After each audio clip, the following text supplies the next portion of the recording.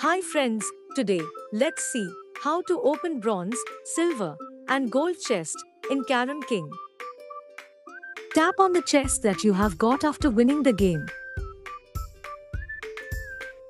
Tap here to start unlocking the chest.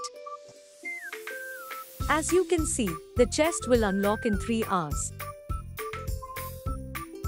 If you want to reduce the time, see an ad.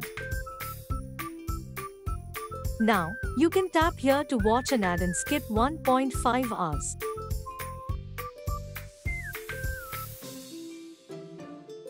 As you can notice 1.5 hours reduced from the original time. Now, let's open a ready chest. You can get strikers, pucks and other inventory cards when you unlock a chest. The chest can be opened immediately with cash.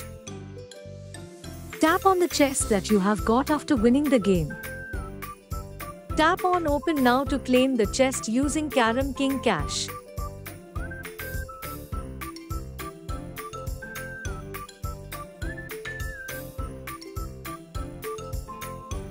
A similar chest can be opened with cash.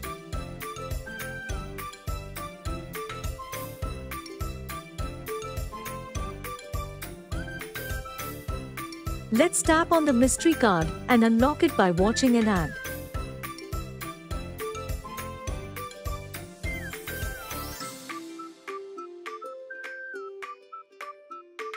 Keep playing Carrom King. For more videos visit our YouTube channel Carrom King.